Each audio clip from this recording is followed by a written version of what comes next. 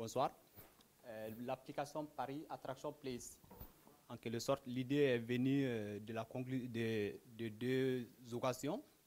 La première occasion d'abord, c'est le fait que chaque jour, moi, moi j'habite à Massy. Chaque jour, je passe euh, rue Jean Jaurès à Massy, mais je ne connais rien sur rue Jean Jaurès. Et je me suis posé la question, mais qui, est, qui, est, Jean Jaurès? Pourquoi on, lui a donné le, pourquoi on lui a donné le nom de cette rue? La deuxième occasion, c'est ma, copine qui est venue de Toronto tout récemment.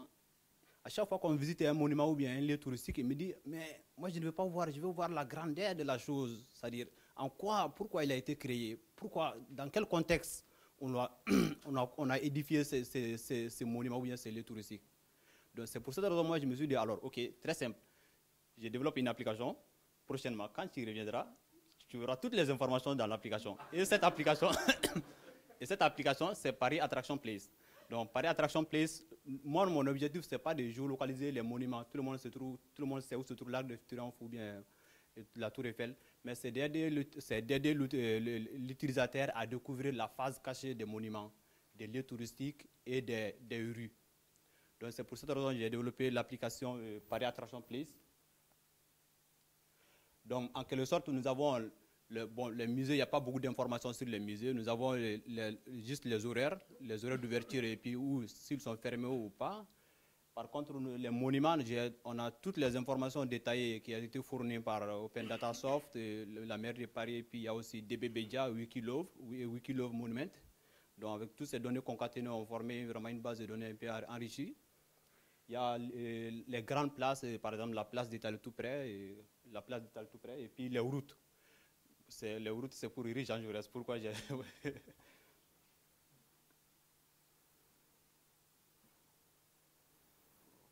Comment? Donc, l'application Paris Attraction Place permet en quelque sorte de partager une, une place d'attraction sur tous les réseaux sociaux en un seul clic. Possibilité d'ajouter une image, c'est-à-dire moi j'arrive par exemple euh, dans un endroit qui m'a beaucoup, beaucoup plu, c'était par exemple la place Charles de Gaulle, grande place de Lille. Donc j'ai pris la photo et puis j'ai ajouté, ajouté quelques informations. Donc le monument est géolocalisé et des autres utilisateurs peuvent aussi avoir ces mêmes informations. Donc ça enrichit aussi ma base de données. Donc capacité de commenter un monument. Donc effectivement, quand on voit un monument, il faut, il faut que l'utilisateur aussi puisse interagir avec. Donc la plus importante dans toutes ces choses, c'est une application qui respecte l'intelligence de l'utilisateur.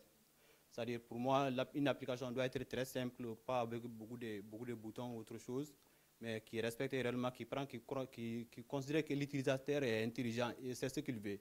C'est pour cette raison que j'ai respecté un peu le design natif de Android, la simplicité de l'information. Il y a aussi la possibilité d'utiliser une image comme wallpaper. C'est-à-dire j'ai aimé cette image et puis je l'ajoute comme wallpaper. Euh, l'application maintenant en tant que telle,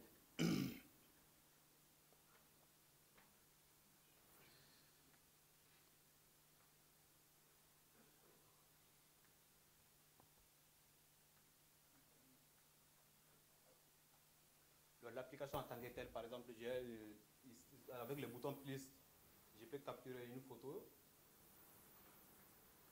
Donc, je, l'ajoute.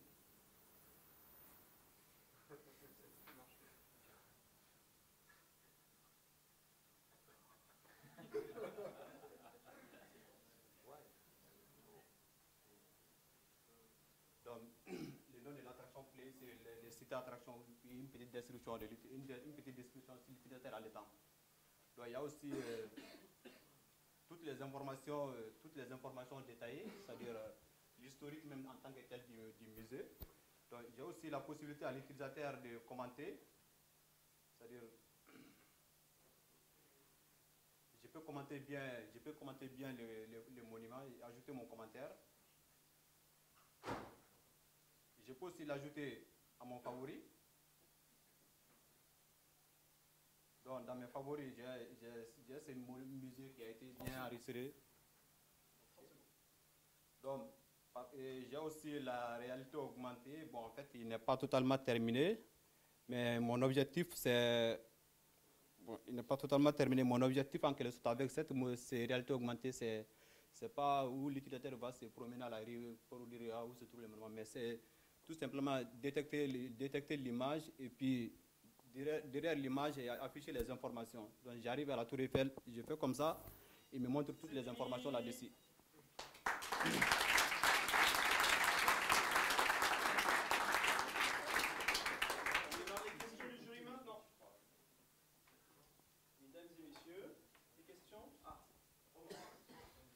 Alors, une, question. Une, question sur euh, euh, la, sélection des monuments qui sont présentés sur l'écran principal. Euh, comment est-ce que c'est fait et en fonction de quels critères est-ce que je vais recevoir l'information? Les monuments, ça se charge au fur et à mesure. Il y a, y a une liste, il y a, quand l'utilisateur arrive, arrive à la fin, je scroll. Il scroll, c'est comme un Android Market en quelque sorte.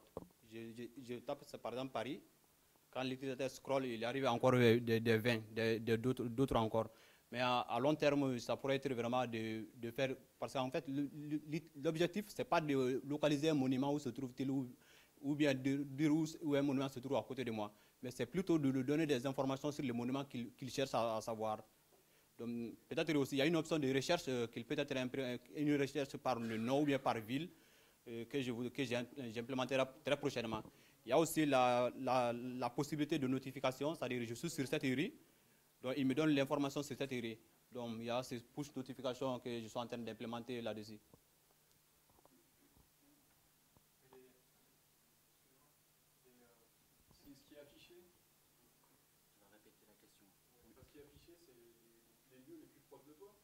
Pas les liens les plus proches de toi. En, quelque sorte, c'est les liens les plus commentés. Sur la page d'accueil. C'est-à-dire ils sont classés par ordre de, par ordre de, de commenter. C'est pour ça qu'on a vu le musée de Louvre, parce qu'il a été commenté par trois fois. Il n'y a pas de questions?